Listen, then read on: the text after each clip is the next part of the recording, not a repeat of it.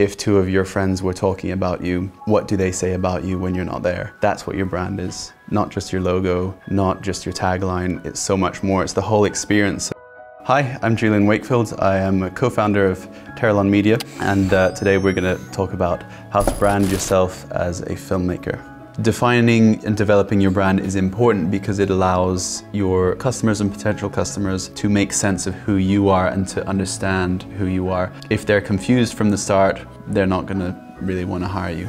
Play to your strengths, do stuff that you want to do, otherwise you'll have a hard time keeping it up. And then last but not least, be consistent in it. Take the time to develop your brand. Take the time to develop the trust with your potential customers. It won't happen at once. You know, that's branding for filmmakers 101.